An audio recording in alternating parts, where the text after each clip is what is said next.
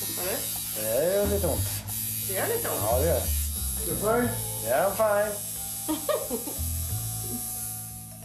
förra, förra gången jag tatuerade mig så kom jag ihåg att det, det gjorde liksom inte så ont.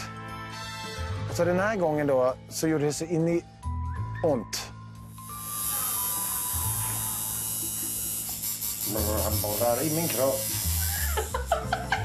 Han borrar. Fast Så där tyckte inte jag att det gjorde. lägg av nu. Jag var så jävla kaxig. Ja, Andreas var lite gnällig faktiskt när han gjorde sin tatuering. Jag tyckte att jag höll ut lite längre än vad han gjorde. Han började, han började mjäka lite tidigt. I think he needs to lay down for a, for Ah, a minute. no, no, no, no.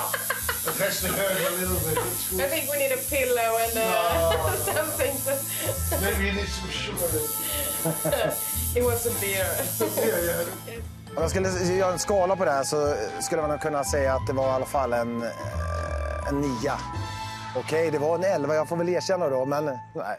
Det gjorde väldigt ont och det är fruktansvärt vad det drog i kroppen. Ah, nej, men det var värt det.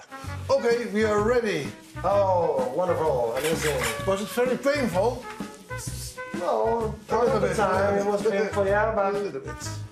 Det här är en tatuering som jag har funderat på väldigt länge. Jag tycker den är annorlunda, den är unik. Det är ingenting som jag har sett någon annan göra. Så jag är extremt nöjd och tacksam att jag gjorde det här.